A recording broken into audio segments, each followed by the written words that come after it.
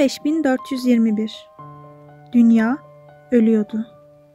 Tatlı su uzun yıllar önce yok olmuş, arıtılmış deniz suları kullanılmaya başlanmıştı. Bırakın ormanları, tek bir ağacın bile ne olduğunu bilmeyen çocuklar vardı. Nefes almak artık düşünmeden yapılan otomatik bir eylem değildi. Zira o kirli atmosferden ciğerlerinize çekeceğiniz her soluk boğazınızı bir bıçak gibi kesiyordu. Nüfus çok kalabalıktı ve yerküre artık bunu kaldıramıyordu. Zenginler çok zengindi, fakirler ise çok fakir. Kir, pislik, zehir, canlılara zararlı ne varsa her yerdeydi. Buna rağmen insan hiç durmadan üremeye devam ediyordu. Yıl 15431. Birileri bir şeyler yapmalıydı. Ama insanlar ya bunu umursamayacak kadar iyi yaşıyorlardı ya da hiçbir şey yapamayacak kadar acizlerdi. Hükümet denen şey neredeyse etkisizdi. Eğitim, sağlık, insan hakları ve yaşamı yaşanır kılan diğer her şey yok olmuştu. Ne doğan bebeğin yaşaması için güvenli bir yer vardı, ne de ölen kişinin gömülmesi için huzurlu bir mezar. Buna rağmen insan hiç durmadan üremeye devam ediyordu. Yıl 15441. Bir karar alındı. Yöneticiler buna tamam derken akıllarına daha iyi bir fikir gelmiyordu. Halk hastalıktan, sefaletten, açlıktan ölüyordu. Ölürken dünyayı da öldürüyorlardı. Onca insan için yaşayacak yer kalmamıştı. Öyleyse artık onca insan olmamalıydı. Dünya daha fazla ceset ya da daha fazla bebek kaldıramazdı. Buna rağmen insan hiç durmadan üremeye devam ediyordu. Yıl 15451. Karar uygulanmıştı. Belki çok acımasızcaydı, insanlık dışıydı. Ancak tek yol buydu. Onca insanı öldürseler daha mı iyiydi yani? Öldürmek yerine üremeyi engellemişlerdi işte. Yöntemleri kabul edilemez derecede vasat olabilirdi belki ama sonuçta işe yaramıştı. Dünyayı ikiye bölmüşlerdi. 10 yıl süren bir çalışma ile uçsuz bucaksız bir duvar inşa etmişlerdi. İnsanlığı ikiye bölmüşlerdi. Kadın ve erkek daha fazla kontrolsüz üremeyi engellemek için sonsuza dek ayrılmıştı birbirinden. İnsanlar yurtlarından olmuştu. Aileler dağılmıştı. Çok, çok büyük bir göç yaşanmıştı dünyanın iki ucu arasında. Kadınlar batıya, erkekler doğuya. Bununla birlikte insan zamanla unuttu eşinin varlığını. Her zaman unuttuğu gibi başına gelen olayları. Yıl 15551 Amida daha 5 yaşında hayatın en büyük gizemlerini çözmekten henüz çok uzak bir kızdı. Düz, upuzun, kumral saçları, kahverengi gözleri, esmer teni ve şen gülümsemesiyle çok tatlıydı. Annesiyle birlikte duvara yakın bir mahallede, küçük bir evde mütevazi bir hayat yaşıyordu. Amida o gün her zamanki gibi koşup oynamıştı sokakta. Şanslıydı çünkü her mahallede sadece bir tane olan ağaç onların evinin önünde gölge yapıyordu.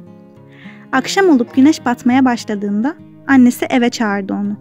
Amida her zamanki gibi eve yöneltmişken adımlarını bir kuş gördü gökyüzünde. Minicikti. Belli ki yavruydu.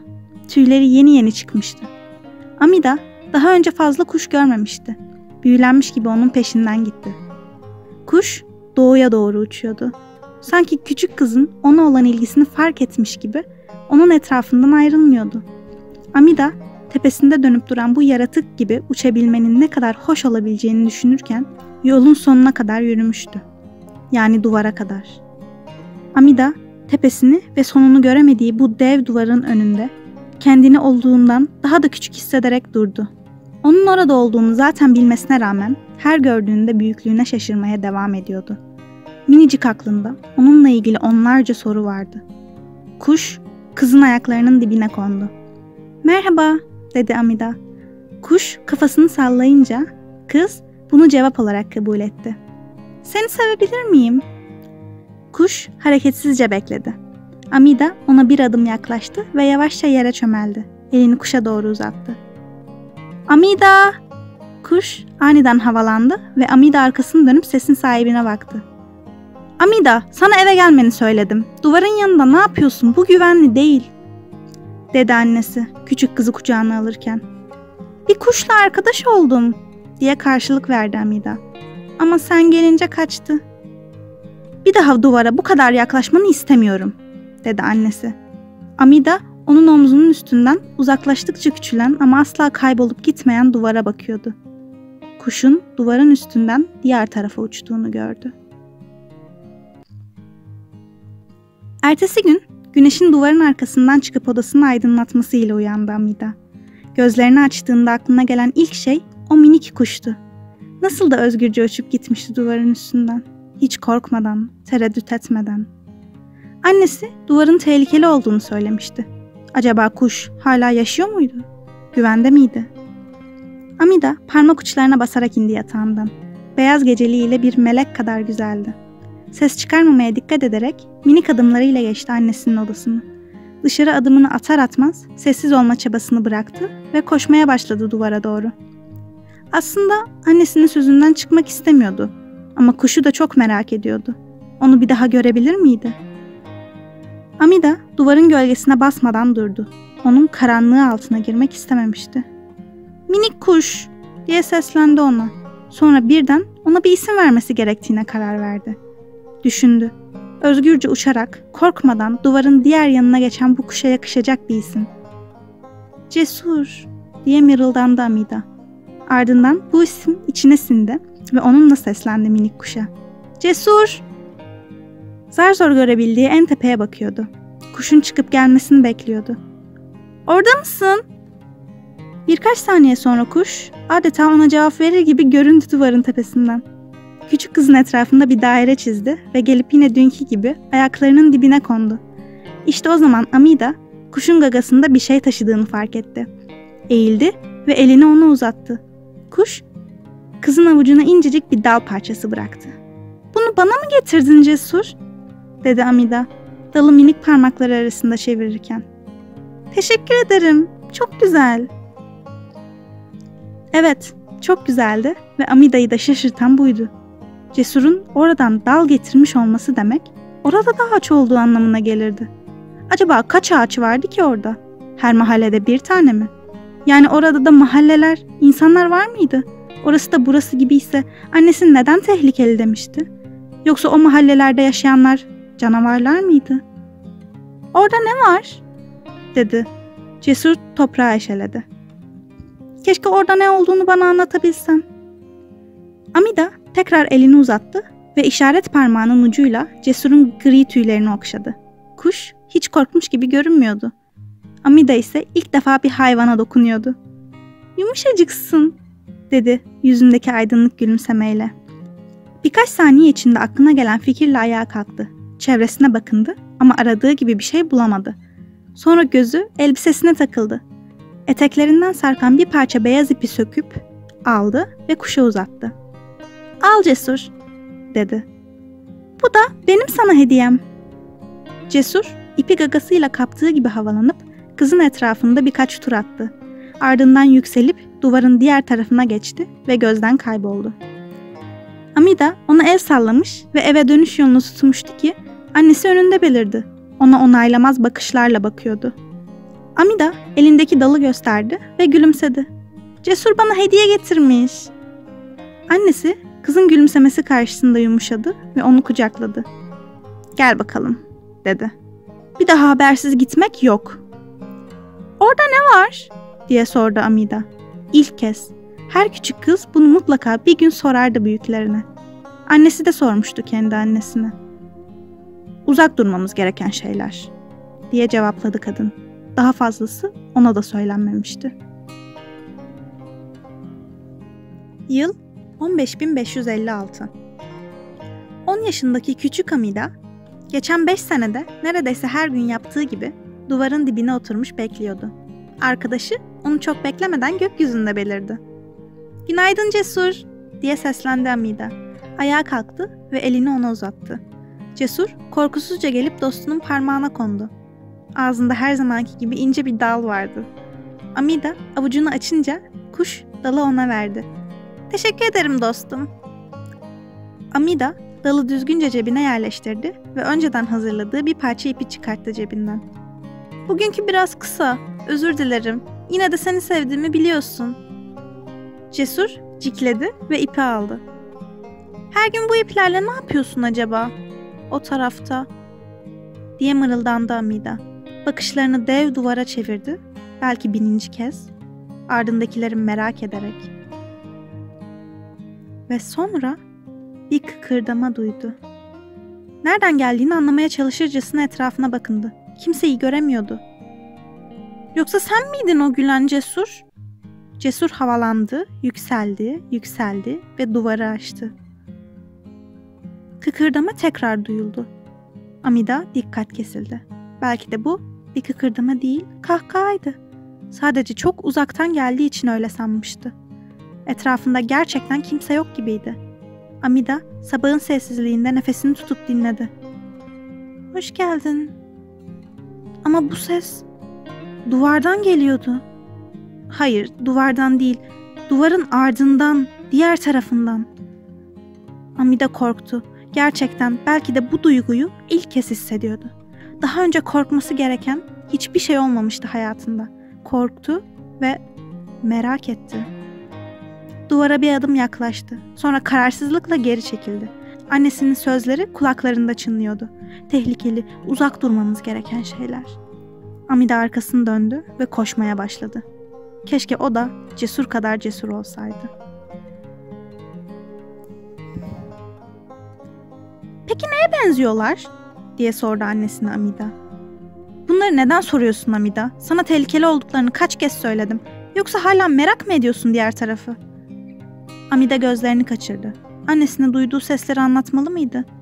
Bu ne anlama gelecekti ki? Ben sadece orası hakkında daha fazla konuştuğunu duymak istemiyorum Amida, dedi ve onu odasında yalnız bıraktı annesi. Amida derin bir nefes verdi. O gülüş, o mutluluk dolu hoş geldin sesi kafasında dönüp duruyordu. O sesin sahibini aklında canlandırmaya çalıştı. Kendisi gibi çocuk muydu acaba? O da bir kız mıydı yoksa bir canavar mı? Belki de konuşan bir hayvandı. Amida başka bir canlı türü bilmiyordu. Ama o gülüş, o gülüş çok içtendi. Amida da en mutlu olduğu anlarda öyle gülerdi.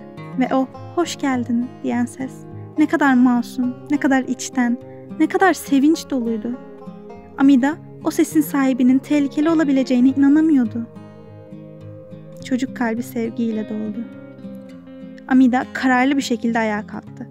Masanın üzerindeki kalemi aldı ve bir parça kağıt kopardı. Yazdı. Merhaba, sen kimsin? Bekle Cesur, çok az kaldı. Amida ertesi sabah rulo yaptığı kağıt parçasını Cesur'un ayağına bağlıyordu. Oraya gidemem belki ama bir not gönderebilirim. Çok heyecanlıydı. Bir yanı kaçıp gitmesini, diğer yanı kalıp cesur olmasını söylüyordu. O ise kararını çoktan vermişti. Senin gibi cesur olmayı seçtim. Sonunda işini bitirdi ve kuşun uçup gitmesine izin verdi. Ardından bakıp el sallarken iç çekti. Cevap için ertesi gün beklemeliydi. Eğer bir cevap gelecekse tabii. Her zamankinden de erken uyanıp gitmişti duvara. İçindeki heyecanı bastıramıyordu. Belki birazdan diğer taraftakilerin kim olduğunu öğrenecekti. Tehlikede miydi? Bırakıp gitse miydi? Hayır, cesur olmaya karar vermişti ve bunu başaracaktı. Cesur ayaklarının dibine kondu. Amida dalgınlıktan onun gelişini fark edememişti bile. Hemen koşup yanına gitti. Cesur gelip eline kondu. Bu sefer ağzında bir dal değil, ayağında bir kağıt vardı. Hoş geldin, dedi ona. Tıpkı duvarın arkasındakinin dediği gibi. Ama bu aynı kağıt mıydı yoksa bir cevap mıydı? Amida hemen ruloyu yerinden söktü. Cesur havalanıp kafasına kondu. Böylece Amida'nın elleri serbest kaldı. Ruloyu açtı ve yazıyı okudu. Ben Osren. Sen kimsin? Duvarın arkasında mısın? Amida'nın kalbi deli gibi çarpıyordu. Ellerindeki not diğer taraftan gelmişti. Osren diye bir kızdan. O bir kız olmalıydı öyle değil mi? Canavarlar ya da konuşan hayvanlar yazı yazamazlardı sonuçta. Öylesi tehlikeli olan neydi? Belki de o kötü bir kızdı. Orada cezasını çekiyordu. Kafasındaki soruları yanıtlamanın tek yolu daha çok yazmak ve daha çok cevap almaktı. cebinde taşıdığı kağıda ve kalemi çıkartıp yeni bir not yazdı. Ben Amida ve duvarın arkasında olan sensin. Neden oradasın? Sen de benim gibi bir kız mısın? Notu Cesur'un ayağına bağladı ve onu gönderdi. Acaba ne kadar bekleyecekti? Burada durmalı mıydı yoksa cevap yarın mı gelirdi? Sonsuza kadar bekleyemezdi. Annesi uyanmadan, onun eş başlamadan dönmeliydi. Bir mucize oldu ve o bunları düşünürken Cesur geri döndü. Buradasın diye ufak bir çığlık attı Amida. Hemen notu alıp okudu. Ben burada yaşıyorum. Ayrıca kız ne demek bilmiyorum. Ben bir erkeğim. Ve böylece inanılmaz şeyler keşfeden çocukların heyecanıyla uzun bir sohbete daldılar. Erkek de ne demek? Sen bir canavar mısın? Hayır, herkes gibi iki kolum, iki bacağım ve tek kafam var. Peki sen bir canavar mısın? Hayır, senden farklı değilim. Peki o zaman annem neden senin tehlikeli olduğunu söyledi? Annem kim bilmiyorum ama ben tehlikeli falan değilim. Sadece 11 yaşında bir çocuğum. Ben de 11 yaşında bir çocuğum. Peki sen iyi biri misin? Babam bazen bana kızar ama ben elimden geldiğince iyiyim. Benden daha kötüler de var burada. Aslında pek arkadaşım yok. Bu kuş hariç. Kuşa cesur diyorum. Cesurca duvardan geçtiği için. Eğer onu sevdiysen kötü biri olamazsın bence. Babam kim bilmiyorum ama senin hakkında yanılıyor olmalı. Böyle düşünmene sevindim. Arkadaş olmak ister misin? Tamam. Ama benim artık gitmem gerek. Onun yaş eğitimim başlayacak. Yarın tekrar konuşalım mı Osren? Benim de 11 yaş eğitimim başlamak üzere. Yarın konuşabiliriz. Görüşürüz Amida. İmkansızlıklar içinden doğan bu dostluk yıllarca sürecekti. Yıl 15561. Amida ve Osren 5 yıldır her sabah bir güvercin aracılığıyla konuşan çok iyi iki genç arkadaştı. Yani onlar birbirine arkadaş diyorlardı. Çünkü hissettikleri şeyleri kapsayan başka bir kelime bilmiyorlardı. Yine de bir şekilde bu kelime ikisine de yetersiz geliyordu. Dün bahçede kocaman çirkin bir böcek gördüm Osren. Gerçekten mi? Onlardan birini yakından görmeyi çok isterdim Amida. İnan bana istemezdin. Çok çok çirkindi ve beni korkuttu. Böceklerden korkuyor olamazsın. Hala hayatta kalmayı başaran nadir canlılardan onlar. Bence muhteşemler. Orada olsaydım korkunun üstesinden gelirdik. Burada olsaydın zaten korkmazdım. Daha önce hiç yan yana olmamışlardı. Ama her geçen gün bu istek daha fazla büyüyordu içlerinde. Bazen beraber olsalar sanki bu dünyadaki hiçbir şey onları korkutamazmış gibi geliyordu Amida'ya. O sen ise sanki eksik yanını bulmuş ama ona dokunamıyormuş gibi hissediyordu. Amida, uzun saçlar seni terletmiyor mu? Bazen terletiyor. O zaman onları topluyorum. Neden uğraşmak yerine benim gibi kısa kesmiyorsun? Bilmem. Burada herkesin saçı uzun olması gereken bu gibi geliyor. Ayrıca hoş duruyor. Sen neden uzatmıyorsun? Aynı sebepler. Gerçi saçlarının boyunun bir önemi yok. Bence sen her şekilde yakışıklı olursun. Yakışıklı da ne demek? Ah, yine mi farklı kelimeler? Yakışıklı, gözü hoş görünen erkeklere denir. Biz gözü hoş görünen kadınlara güzel diyoruz. O zaman bence sen çok güzel olmalısın. Birbirlerini daha önce hiç görmemişlerdi. Ama bu önemli değildi. Kalplerinin güzelliği yüzlerine, hayallerine yansımıştı. Hem nasıl göründüklerini uzun uzun konuşmuşlardı. İkisinin de iki gözü, iki kulağı, bir burnu ve ağzı vardı. Aynılardı yani. İkisi de canavar değildi. Canavar olsalar bile umurlarında olduğu söylenemezdi. Neden sana seslenmemem gerekiyor Amida? Sana bunu defalarca açıkladım Osren. Annem burada olduğumu bilmiyor. Bağırırsak bizi duyar ve bir daha duvara gelmemi yasaklar. Ama ben senin sesini duymak istiyorum. Eğer sesimi duyarsan bir daha yazımı göremezsin. Keşke sadece yazını değil, seni de görebilsem. Osren, bunları ben de istiyorum. Ama biliyorsun imkansız. Cesur ikimizi de görüyor. O çok şanslı. Keşke biz de uçabilsek. İşte tam bu konuşma Amida'nın aklına parlak bir fikrin tohumlarını ekmişti. Tamamen şans eseri o günün 15 yaş dersinin konusu kuşlar ve nasıl uçtuklarıydı. Bu ders bir kuş ile arkadaş olan, fiziğe özel bir ilgi duyan ve duvarların üstünden uçup diğer taraftaki arkadaşına kavuşmak isteyen Zeki Amida'ya verildiğinde aklında bu fikrin oluşmaması imkansız olurdu. Amida o gece uyumaksızın çalıştı. Planlar çıkardı, eskizler çizdi ve hesaplar yaptı.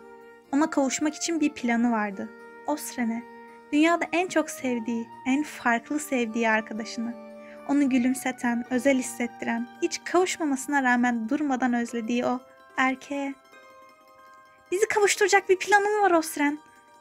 Sen ciddi misin Amida? Bu aldığım en güzel haber. Ama nasıl? İşe yarayacağından emin değilim ama deneyeceğim. Sakın kimseye bir şey söyleme. Şimdi çalışmak için gidiyorum. Tekrar konuşacağız. Umarım ki bu defa yüz yüze. Amida'nın her şeyi ayarlaması birkaç gününü aldı. Öncelikle sağlam ve hafif çubuklara ihtiyacı vardı. Aklına tek gelen şey ağaç dallarıydı. Dal kopartmak yasak olduğundan günlerce mahalle mahalle gezip yere düşen dalları topladı. İkinci olarak olabildiğince yüksek bir yer gerekiyordu. Bildiği en yüksek yer mahallenin biraz dışındaki tepeydi.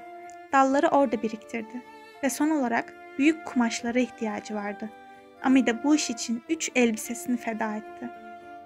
O tepede her gece kimseye görünmeden projesini tamamlamak için çalıştı durdu. Ekstra fizik dersleri için öğretmenlerine günlerce yalvardı. Çalışmaktan ve uykusuzluktan yorgun düştü. Ama sonunda son ipi sıkıca bağladığı o gece kendi eseri olan dev kanatlarına bakıyordu. Hemen şimdi uçup diğer tarafa gidebilirdi. Bunun yerine Amida yere oturdu ve tepeden mahallesine baktı. Evini gördü. Annesini düşündü. Tehlikeli kelimesi yıllardır beyninde dönüp durmuştu. Oysa Osren'in tehlikeli bir tarafı yoktu. Amida onu tanıyordu. Yoksa tanıdığını mı sanıyordu? Duvara baktı. Sonu görünmeyen, uçsuz bucaksız duvara. Onu oraya diktilerse bir anlamı olmalıydı. Kimse geçmesin diyeydi. Ve son olarak tekrar kanatlarına baktı. Çok uğraşmıştı ama o an gözüne o kadar da sağlam görünmüyorlardı. İşe yarar mıydı? Buradan oraya kadar uçabilir miydi? Buna cesareti var mıydı? Gecenin karanlığı ve kasveti yüreğine korku saldı. Duvar birden gözüne aşılamaz göründü. Bu tepe bile çok yüksekti. Korkuyordu. Amida zekasıyla kanatlar yaratabilirdi belki. Ama onlarla uçacak kadar cesur değildi.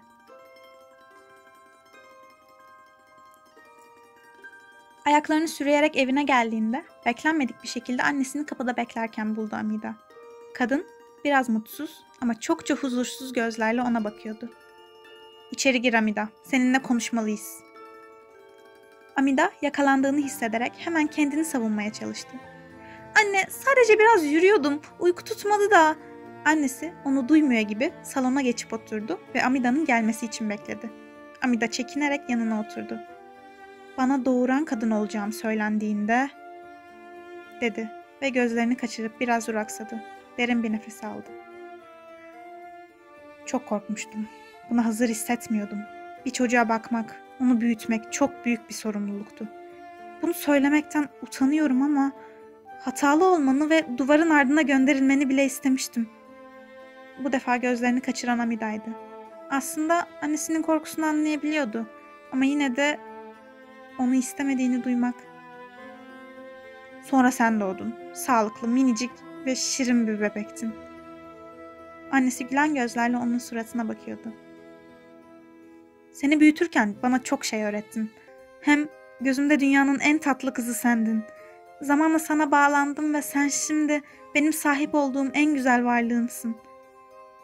Hamide mutlulukla bakıyordu şimdi annesinin yüzüne. Peki ama durup dururken neden bu konuşma? Duvarın ardından biriyle konuştuğunu ve oraya gitmeye çalıştığını biliyorum, dedi annesi. Amida'nın gözleri şaşkınlıkla büyüdü. Konuşmak için ağzını açtığında annesi onu durdurdu. Sana kızmıyorum. Aksine seninle gurur duyuyorum kızım. Evet, ilk başlarda seni korumak için oradan uzak tuttum ama sen resmen oradan bir arkadaş edindin. Sen Amida benim sormaya cesaret bile edemediğim sorulara cevaplar buldun. Amida Annesinin gözlerindeki gururu şaşkınlıkla izliyordu. Onun böyle tepki vereceğini düşünememişti. Yani bana kızmadın mı? Kızdığım şey bunu benden saklamam. Yaptıkların için sana kızamam. Sen çok cesursun Amida. Cesur. Bu kelime Amida'nın kendini nitelemek için kullanmayacağı bir sıfattı. Annesi ise ona bu yüce kelimeyi yakıştırmıştı. Amida gülümsedi. Sana vermem gereken bir şey var Amida. Diyen annesi kalktı ve Amida'nın orada olduğunu yıllar önce unuttuğu halının altındaki gizli bölmeyi açtı. Buraya değerli eşyalarını koyarlardı ancak Amida daha önce hiç kullanmamıştı. Annesi burayı biraz karıştırıp bir kitap çıkardı. Amida'ya verdi. Bu kitap annemin annesinden kalma. Yıllar önce bu tarz kitapların hepsi yok edilmiş. Anneannem bir tane saklamayı başarmış. Amida kitabın eski ve sararmış sayfalarını karıştırdı. Kapağında Romeo ve Juliet yazdığını gördü. Bu kitabın sana cevaplar bulmana yardım edeceğine inanıyorum. Git ve ne yapman gerekiyorsa onu yap. Yıllardır hiçbir kadının yapmaya cesaret edemediği şeylere sen cesaret et, Amida. Amida kitabı sıkıca tuttu ve annesine sarıldı. Tüm gece hiç uyumamıştı. Kitabın her kelimesini ezberlemişti ve evet, cevapları vardı. Amida daha 6. sayfadan Juliet'in kadın, Romeo'nun ise erkek olduğunu anlamıştı. İkisinin arasındaki ilişkiyi okudukça onların hissettiklerini anladığını fark ediyordu. Aynı şeyleri o da hissediyordu çünkü. Amida'nın bulduğu cevap aşktı. Öğrendiği bu yeni kelime duygularının adıydı. İnsanın kalbini titreten, içini özlemle dolduran ve sevgiyi iyiliklerine kadar hissettiren bu duygu, demek ona aşk deniyordu. Aşk. Güneş doğduğunda bu yeni kelimeyi tekrarlayıp durarak gitti duvara Amida. Sesli söylemek sanki daha gerçek kılıyordu her şeyi. Kelime sanki o söylensin diye yaratılmış gibi oturuyordu diline. Buldum Asren. Bize olan şeyin bir adı varmış. Bu duygu yıllar önceden kalma ama ben o kadar tazecik hissediyorum ki her şeyi. Sahiden mi? Nereden buldun? Neymiş adı? Parça parça anlatmasana. Amida cevap yazmaya hazırlanırken aklına gelen şeyiyle duraksadı. Madem annesi artık yaptıklarını destekliyordu, o halde ''Sana aşığım Osren!'' diye bağırdı Amida. Kalbi yerinden çıkacak gibiydi. ''Amida, bu sen misin? Senin sesin mi?'' İşte bu ses yıllar önce duyduğu o şen kahkaha ve merhabadan farklıydı belki ama aynı masum, kalp titreten duyguyla doluydu. Evet, annem bizi öğrendi ama bana kızmadı. Artık sesli konuşabiliriz. Buldum Osren. Buna aşk deniyor. Eski bir kitapta yazılı. Ben sesini duyduğuma inanamıyorum Amida. Kalbim öyle hızlı çarpıyor ki. Benim hissettiklerimin adı da aşk mıymış? Amida bu sorunun cevabını veremeyeceğini fark etti. Bilmem. Nasıl hissediyorsun? Çılgınca, dedi Osren. İçinde durdurulamaz bir enerji varmış gibi mi? Evet. Hep daha fazlasını istiyorum. Seni görmek ve dokunmak. Sanki bir kez sarılsak tüm dertlerimiz bitecekmiş gibi mi? Evet. Varlığım varlığına bağlı gibi. Aşk bu mu Amida? Amida gülümsedi. Tam olarak bu. Öyleyse bu ömrümde hissettiğim en güzel şey. Sana aşığım Amida. Öyleyse bu ömrümde duyduğum en güzel şey. Sana aşığım Osren. Osren bir saniye duraklamanın ardından cevap verdi. Amida bizi kavuşturacak bir yol bulmuştun hani. Yanımda olmana ne kadar kaldı? Gözlerine bakmama ne kadar var? Amida'nın aklına kanatlar gelince korkusu yine doldu yüreğine. Kanat yaptım Osren. Yanına uçacaktım tıpkı cesur gibi. Ama ben onun kadar cesur değilim. Bu sırada cesur yerde dolanıp duruyordu. Amida ona gıptayla baktı. Sen mi cesur değilsin? Bu tamamen yanlış Amida. Bir kuş ile arkadaşsın. Hissettiğimiz şeyin adını buldun. Yıllardır duvarın ardındaki biriyle konuşuyorsun ve üstelik ilk adımı da sen attın. 10 yaşındaki Amida'nın cesareti öylece uçmuş, gitmiş olamaz. O kanatları yaptıysan belli ki gitmemişti.